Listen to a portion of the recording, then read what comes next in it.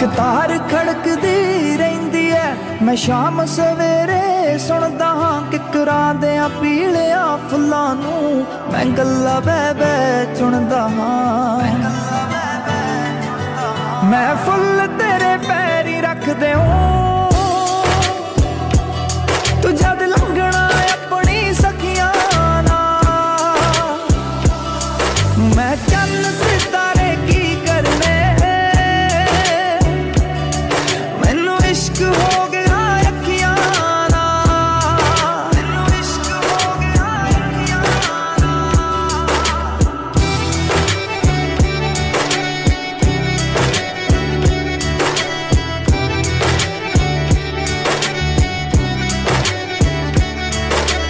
ਮੈਂ ਦਿਲ ਦੇ ਡੂੰਘੇ ਖੂਹਾਂ ਚੋਂ ਤੇਰੇ ਪਿਆਰ ਦਾ ਪਾਣੀ ਭਰਨ ਲੱਗਾ।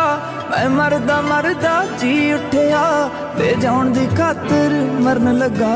ਤੇ ਜਾਣ ਦੀ ਖਾਤਰ ਮਰਨ ਲੱਗਾ। ਤੇਰੇ ਸੰਗੋ ਰਿਸ਼ਤਾ ਬਣ ਗਿਆ ਏ। ਜਿਹੜਾ ਧੁੱਪ ਦਾ